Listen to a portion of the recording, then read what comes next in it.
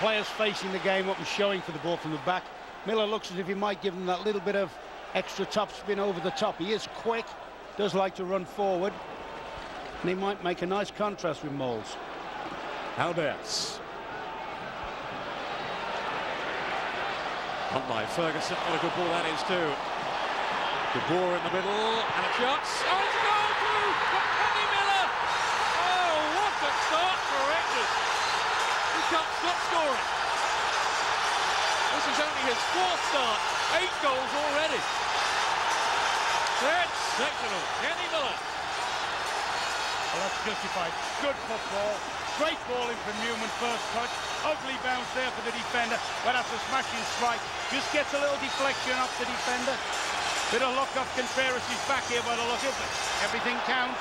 And what a magnificent start that is. Oh, the relief on the face there of Dick Advocaat. It was Contreras, the Chilean international, I think lost his bearings at the back. Let Miller in. And he finished in the most... Far from it. It's a knife edge at the moment now. The early flush has gone the first 15 minutes that when Rangers were completely in control. Okay, they had the towering presence of Christanval to contend with. Oh, there is the equaliser.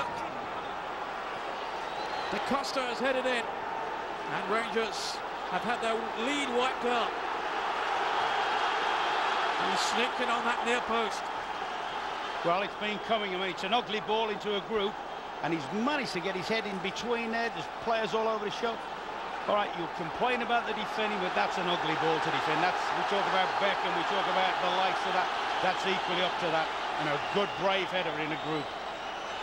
It was a goal. Who else team have been threatening. Yeah, we're not surprised by that. You, you always felt that Rangers had to get themselves another goal, had to carry the fight and try and take the steam out. Da Costa, who's only just come back from injury. But he's okay. Wild horses wouldn't drag him off now.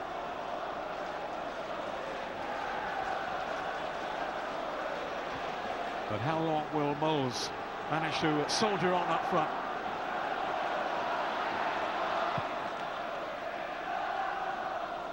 Oh, here's Mols now. He's clean through. Michael Mols!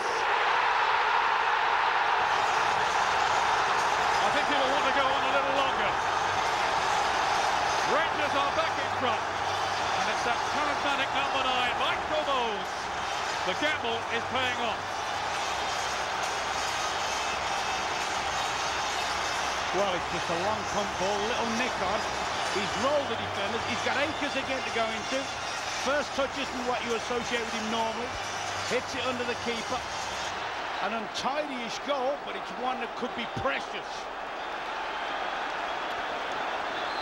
And they've always got a chance of a goal. I've said it all along in this game against this particular defence. Well, in truth, he didn't really get hold of it. He's hit it into the ground, and keeper should have done better. But as he did against Sturm Graz here. Why doesn't he just get rid of the ball? Pršo slipped on to Simone! It's 2-2 and it's heartbreak for Rangers.